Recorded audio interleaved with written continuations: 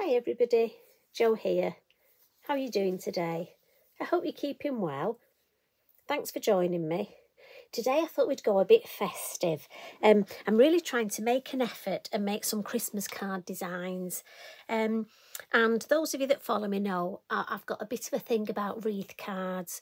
We all have certain designs we go for, don't we?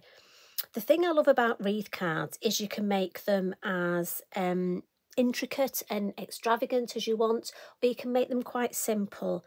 And I must admit, I was looking for a design. I love a design at Christmas that I can batch card make. Um, I mention that quite a lot, but I think quite often it's nice to make um, individual ones for special family members which I could do with this, but I could add more to this and make it larger. But also, I think this on its own is, is nice and simple, but I could make six or seven of these in one go. And that's what I'm looking for with batch card making. Also, I like to look for a design that I could alter the colour tones. So this is my offering today and I'm hoping even if you don't actually create this design, it might inspire you just part of the design to take part of the design and then wander off with it and maybe add different stamps. I mean, I thought I'd start with a limited supply. Sometimes we can add lots and lots of different stamps, lots of different colours. So I'm just going to use a, a, few stamps for this. Um, and as I say, that's my idea behind it. And I've gone for a six by six again. You know, I use my ready-made bought card blanks, and this is a six by six because it's ideal for postage. Again, I'm, I'm mindful Christmas thinking postage already. I have just been and bought myself some um, stamps ready to just put in the drawer ready for Christmas. I don't know if that makes me sad or maybe it makes me organised. I think in my head I'll go for the organised. Now, what I'm going to do is I'm going to start off with a piece of multi-surface card, and this is five and a half inches square. And I've gone for this because, as I say, it's perfect for my six by six card blanks. And I'm going to edge it now, I don't know if you can pick up on this. It's actually got a little bit of a, a, gold edge. I'm not sure how my camera skills aren't that good, as you can see. But quite often I go around with a black Sharpie, don't I? Well, I must admit, I managed to get my hands on some gold and silver Sharpies. But if you've got any of your metallic pens, um, I've got a metallic Posca, but the nib's a bit narrow. So really I need to buy one of the bigger nibs in the, in the Posca and I could use that. Now, a few of you have messaged and said you're very worried about doing this. Now, again, my advice would be if you do it first like this, then if you were to make a Haulix of it, it wouldn't matter because you can always turn it over because obviously we use double-sided card, don't we? So, but honestly, it's the hard. Take a piece of kitchen towel, just for your hand, and just press your card down. And that's the biggest thing. Copy your paper underneath and just make sure your card's pressed down. And if you do that, no problem and we're just going to do all four sides. See, now I've said that, you can imagine it's going to it's going to go funny, isn't it? Hmm. Like I say, I used to use a ruler, but one day I thought, no, come on, let's be big, let's be grown up. And I have to say, since I've done it this way, it's much quicker. I just thought that made it more festive with the with the gold. So keep your eye open for those, gold, silver and copper. And what we're going to do now is just to create our basic shape. I know a lot of you struggle with, um, you can stamp it, and I've done a few videos on that, but I thought for somebody who's, say, new, or again, if you want to make quite a few in a rush, well, I shouldn't say rush, should I? Although, let's be honest, we know what us crafters are like. I mean, how many times do you actually sit down and have the leisurely time to craft? Or is it just me that always needs that card on the last minute, the one I forget about? Number of times I've done that. Have you ever done that? Have you ever not got any somebody a card, say a Christmas card, and then they turn up and they've got one for you? I bet you all have your emergency cards ready for that, don't you? I bet you do. I hope mine's not one of those emergency ones, you know. so what I've done here is I've got the um, circle masks. So these acetate circle masks, and I'm going for the larger one, look. And as always, it's got a little bit of Posca on because when I put that down, it just disappears. So I can see exactly where it is. And I'm going to use the Elements ink pads today and I'm using Paprika. I just thought it was a lovely sort of nice sort of brownie but Christmassy colour. Now the thing is, do remember these ink pads are so juicy, so full of pigments. I mean, I think that's all I'm going to need. So I'm actually going to put my lid on and move that away. So this is Paprika. And I'm just taking some off on my mat because I can always build this colour up. But if I go in too heavy, I'm just going to put that can you see okay? I'm going to hold it. Now, always, even though I've taken some ink off on there, let's take some more off on there. And then what I want to do is just flick out and go all the way around with a, a gentle sort of flick. And again, you have to be a bit of a... I mean, you could take this down, but to be honest, I'd rather just hold it. And I just want to build up. You'd be amazed how much ink look on your brush. But these brushes are so good for this. They're so soft. And what I want to do is just sort of keep flicking and a bit more in the corners. I sort of want a circular shape, but I want it just a bit more of a flick in the corners and almost a bit of an airbrushed. And again, the key to this, if you get lines or you've got too much colour, turn it over, have another go. It's just get used to taking most of that ink off on there and on there. I mean, I know I go on and on about it, but honestly, it really is gently, gently, and lift that off. Now, to me, if I was batch card making, I could literally get another piece of card. I've got enough ink there, probably to do another two or three. And you've obviously got ink left on there. So it would be much easier when you've got your stuff out to actually do that. Now, I'm just going to wipe this up because obviously you don't want to see me do more and batch card make. Although that would be funny. Do you fancy just joining me for the afternoon and we could do a batch card making session? Now that would be good, wouldn't it? Because we could, well, if it was Christmas, what would we have? A nice Christmassy coffee? What do you think? Oh, Black Forest Gateau coffee. Mm. And maybe we'd have to have some Christmas cake or mince pies. Oh, what do you think? We could have a full afternoon, couldn't we? What we'll do now, right, stop, stop thinking about food. Come on, concentrate. We're going to use this lovely fir cone branch stamp. And I'm going to use my VersaFine Clair, but I'm using the Acorn, this lovely brown colour. I use it quite a lot, to be honest. Now, I know that this stamp will stamp three times. So I'm going to be mindful to do my first stamp. I don't want it definitely at the bottom in the middle. And I'm just going to put it at slight so I'm just putting the brown ink on. And as I say, this one, I know it, it just does the, the three.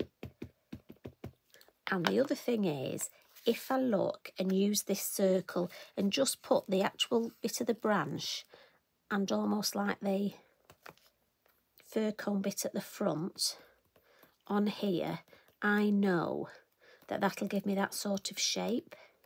Now, have you noticed I snuck in my new Lavinia stamp acrylic blocks?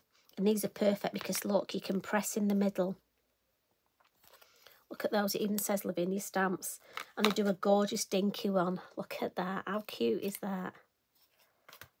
So I'm going to turn this round. So we're going to stamp this three times. I'm just going to take that bit off there. Got a bit of over inking. Now the same sort of thing, roughly. I don't want to put my head right in front of this. So we'll go for that about there. The good thing is the circle is just to give you an idea. So don't worry too much. It's just to give you that, that nice idea. And then hopefully another one there, look.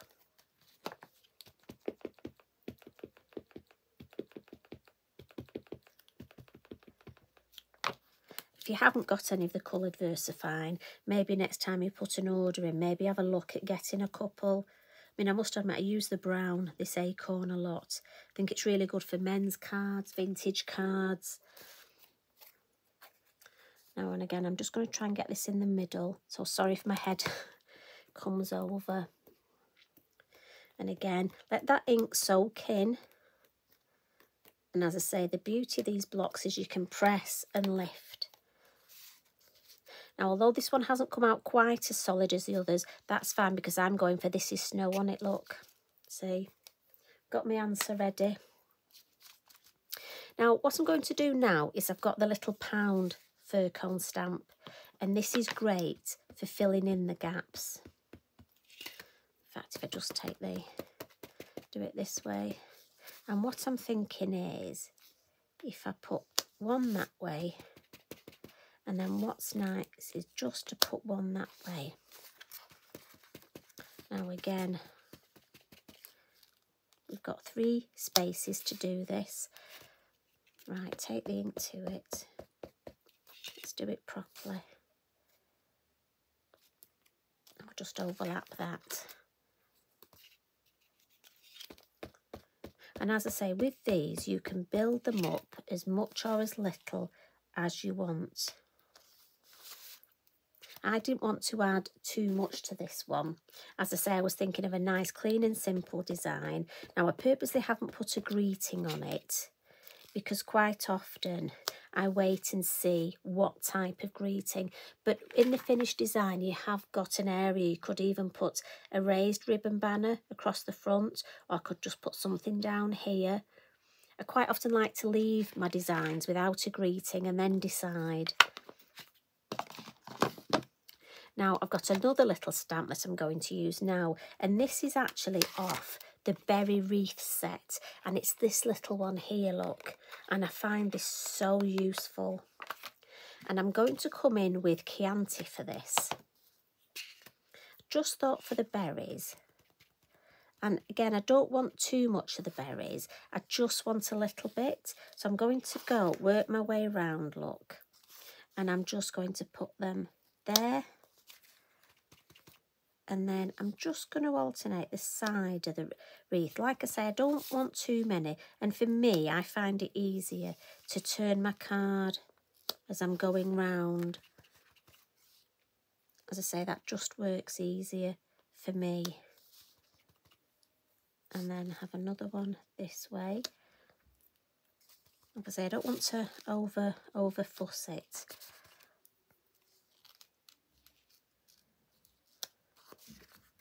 Turn it round. Again, just keep turning it round.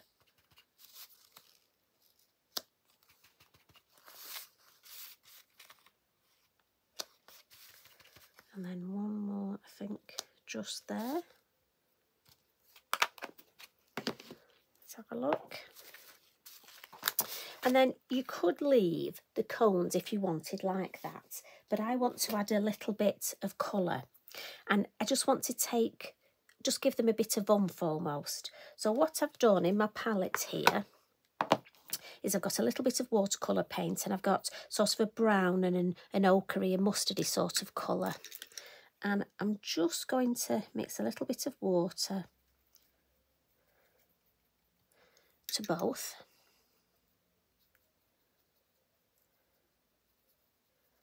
And then what I'm going to do, I want this quite watery. I'm going to add a bit of that and a bit of that. See, I want them brown, but I sort of want a bit of almost the, the mustard in it. And I want it quite watery. And that's purely because I want to dab my colour in. And I don't want it to obliterate my ink. I want to be able to see that ink through it. And also here, we've got the ink underneath, haven't we? And I just want to give that idea of the brown of the fir cones. So I'm sort of dabbing it in rather than being really careful and doing, you know, um, watercolour painting. And like I say, this way I find I can still see the inking underneath the stamping. And also, to be honest, I don't need to spend ages doing fantastic watercolour. Like I say, I'm thinking of something that I could batch card make. And obviously this paint will go a long, long way.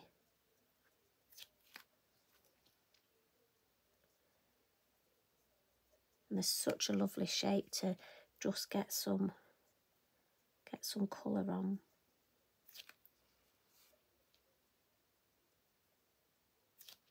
There we go. One more left. Now, if you collect the little um, fir cones from your garden, you could even add a couple, couldn't you, of those? That would be lovely. I mean, already it's built up so nice. It is funny, though. I spend ages actually turning it round because, oh, I think that looks better that way. Don't ask me why. That's bizarre, isn't it? Right, I'll put my paint to one side and then we'll just bring in our white Gelly Roll and just add some little white highlights on those berries. It's amazing how it just brings them to life. Now again, you will spend a little bit longer than me, who's just going dot, dot, dot. Now you could add white highlight, but I'm just going to add some snow. Just going to add some flicks of snow. And what I'm going to do to add that, so there's lots of ways. I know a few of you have asked about the snow. Lots of things you can do. You can get your white, white Posca pen. And, because, I mean, this is our card, more or less finished. You can get your white Posca, give it a shake and add some splats. Now we've done that before. You can use um, white embossing, you can use the ultra thick, but I'm going to use some paint. And again, for me, for batch card making, what I would do is get all my, um, say if I did six at once, get all six cards together and actually flick the paint on them all together. Because obviously when I flick it, I mean, look at my, um, my acorn. This has obviously been in the flicking, hasn't it? So I do try and move things before I flick my paint. So if I have more designs at the same time, it's obviously much better. And I'm just going to put a little bit of paint on my mat and then get my fan brush, which is in my water pot, and then just a little bit of water with it. And then we're just going to add, now obviously if you wanted to add, quite often what I, what I could do is add a little bit of glitter first. So again, I'm just going to put some stickles on my mat and then just add, I'm just, I don't want much. I just want a little bit. Now again, I could add my um, glitter, my eco glitter, if I wanted, different colours. I just need a new, must get a new um, glue pen, quickie glue pen. Mine's done that thing of stopping working, so I need another one. So I'm just coming in with the stickles for now. There we go. And then, oh, I love this bit. So I want to try and just frame it round here. So what I'm going to do is just gently add a few like this and then turn it round. A few more round here. Try and keep it quite controlled and then a few more round here. And obviously I put far too much paint out because I didn't need all that, did I? But that's why for batch card making, I would do three or four of them at the same time. Got to be honest, I think a big mat is sort of ideal for that. And, and that's all there is to it, look. I know what I'll do. If I open that one, look, and then I can pop that on there to show you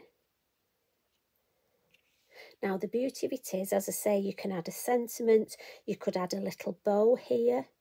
As I say, you could add some little fir cones. You could even add some more stamping if you wanted. You can take it to whatever level, but I thought it was nice to have quite a, a clean and simple a starting point. I mean, the owl, if you wanted to build up more of a scene inside, you could do that. I mean, we have done that before, so I just thought for this one, we'll just stick with it. A simple lovely stylish wreath. But I'm thinking what other colour tones could we use? I'm looking at my Elements ink pads thinking, oh, maybe I could try one in each colour. That would be lovely, wouldn't it? And do a whole set. Now, don't forget, if you have a go, do put them on our Lavinia For You Facebook in our group and tag me in, please, because I'd love to see what you get up to. So thank you for joining me today. And you know what? That means another two Christmas cards done for me. I think this is the earliest I've ever started on my Christmas cards. Hmm, can't believe it. So I'm off now to create some more in some more colours. I think I might just go for Blue Lagoon next. Or shall I try henna? Right, too many choices. You take care, everybody. Thanks for popping in. Much love and hugs. Bye for now.